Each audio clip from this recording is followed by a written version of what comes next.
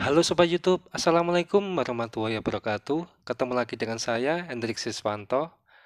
Google Map memudahkan pengguna untuk menemukan lokasi apa saja di internet, dari kantor, rumah, restoran, hingga lokasi bisnis.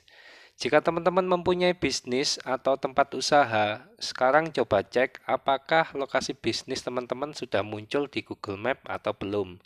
Jika belum, maka di video kali ini saya akan sedikit sharing ke teman-teman tentang bagaimana cara membuat lokasi atau alamat di Google Map dengan bermodalkan HP. Oke, pertama-tama teman-teman langsung saja masuk aplikasi Google Map atau Maps. Nah, di sini untuk memudahkan teman-teman menentukan titiknya, titik lokasinya, teman-teman ubah dulu ke mode satelit yaitu dengan klik eh, sebelah kanan atas. Sini profil ini lalu klik setelan.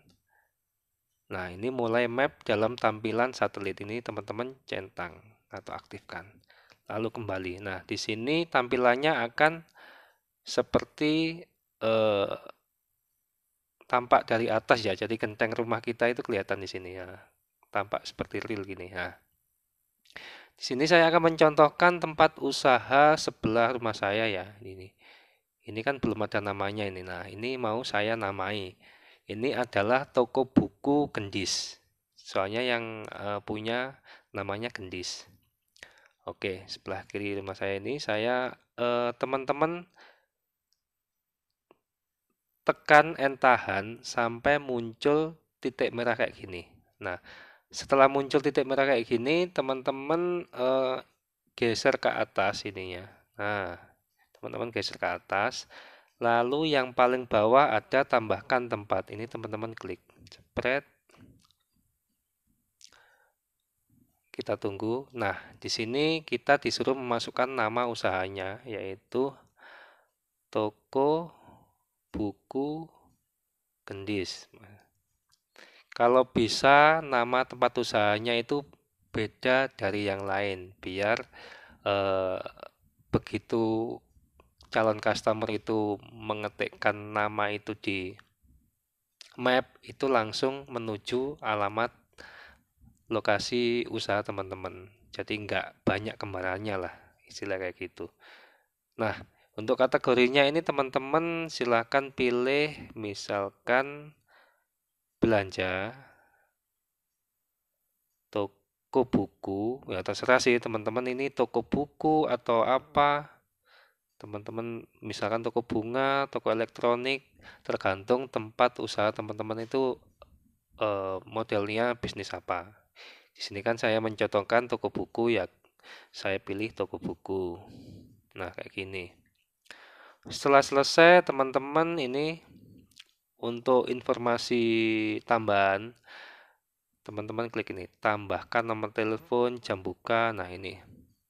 Ini bersifat eh, apa ya? Tambahan aja jadi nggak wajib diisi. Tambahkan jam bukanya, misalkan jam berapa sampai jam berapa, hari apa aja bukanya atau tutupnya hari apa. Ini teman-teman tambahkan di sini. Kontaknya, nomor HP pemilik usaha itu, usaha teman-teman terus tambahkan situs jika ada situs tambahkan foto. Misalkan kalau toko buku tadi ya teman-teman tambahkan foto eh, contoh produk bukunya itu apa aja namanya kayak gitu. Oke tapi ini sifatnya nggak wajib ya jadi nggak diisi nggak nggak masalah. Lalu teman-teman klik sebelah kanan atas yang berbentuk panah itu untuk mengirimkan ke pihak Google. Jepret Nah, terima kasih telah berbagi dan membantu orang lain di Google Map. Nah, ini nanti teman-teman akan mendapatkan email dari pihak Google bahwa eh, peletakan lokasi tadi masih diproses.